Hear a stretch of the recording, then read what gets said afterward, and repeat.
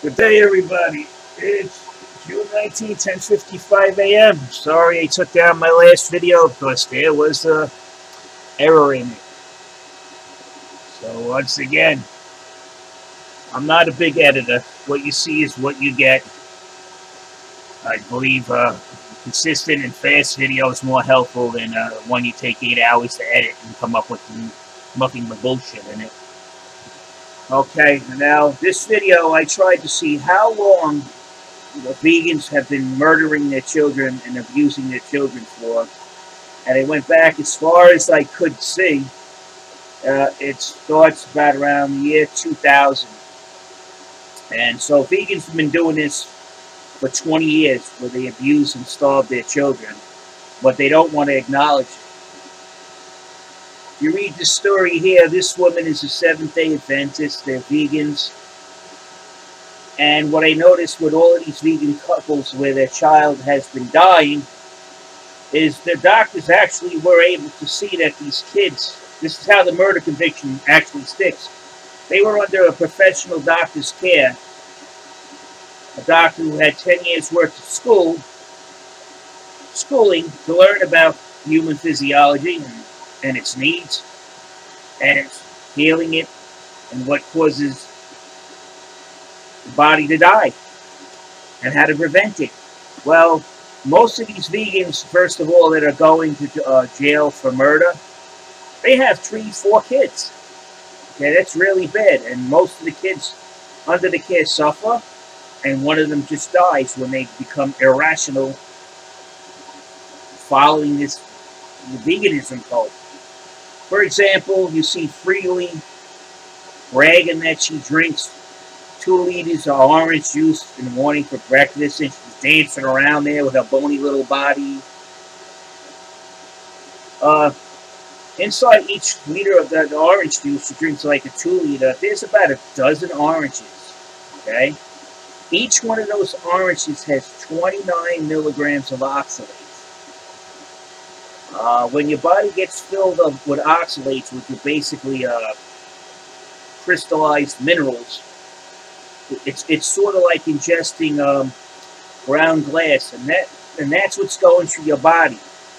So when she's sitting there bragging that, oh look at my stomach's flat, that's because first of all you're malnourished, okay, and you're covering your shoulders with your hair to hide that fact. We all know why you're doing it. Second of all, your organs are shrinking because you don't ingest any cholesterol. Your brain is 40% cholesterol.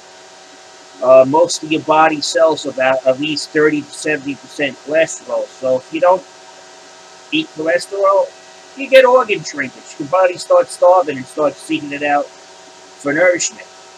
And on top of it, you're having like a dozen to two dozen oranges in the morning, and each orange, orange has 29 milligrams of oxalates, and it takes your body 10 years to get those oxalates out.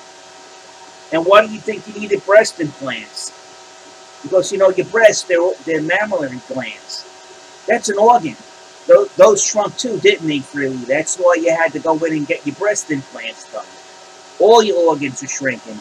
Your brain, your breast, your innards, uh, you don't know you you don't know what you're talking. about. Putting oxalates in the human body doesn't help it; it kills it. You, you understand Freelee? You get to watch this video. So these morons have been killing their children for 20 years, as far as I can tell. And then what's the excuse? Well, omnivores do it, so you have to tell them. You show me when an omnivore parent forced their child on an omnivore diet and that child has died as a result of the diet. And I'll tell you how many uh, times that it's happened. Zero. You'll never find one case on here where a child was starved by being fed a certain diet. Again, vegan parents, uh, uh, uh, they know their kids are sick, the doctors are telling them, and they're pulling the kids out of the doctor's medical care and they're following this damn quackery and they're murdering their kids. The vegan diet does not work. There's a big hole in it. It's called oxalates.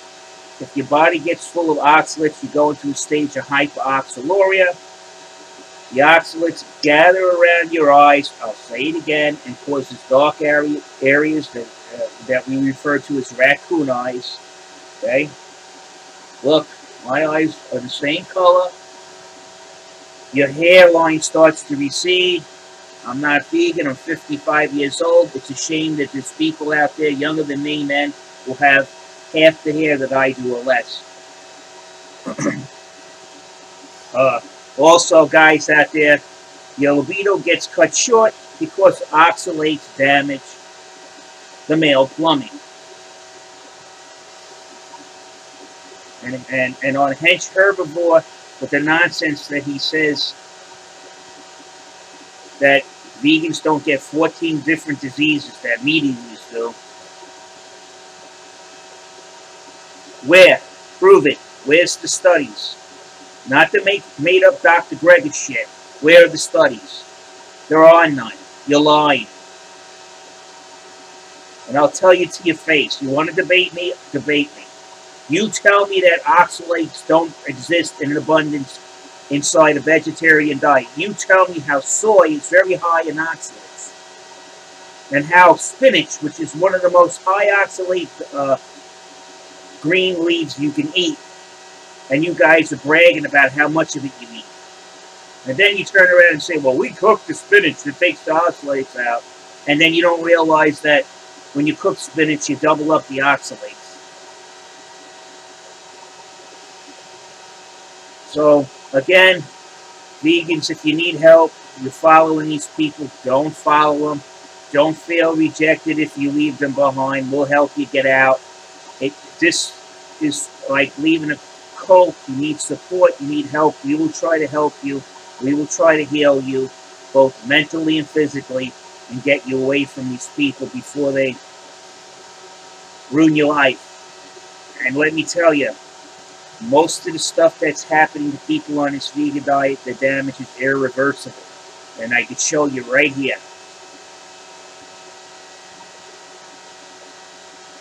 If you read this article, it will tell you that the boy that was six months years old, after they did an autopsy on him, right? He died in March last year from medical complications due to the lack of B12.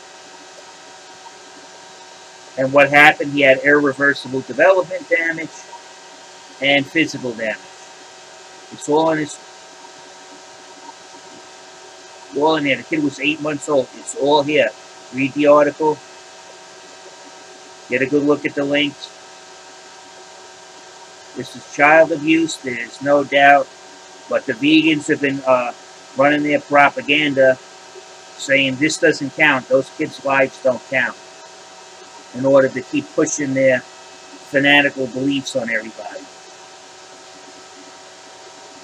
All right, guys, I'm out of here. Best of luck to you. Stay safe, stay healthy. Think before you jump into being a vegan.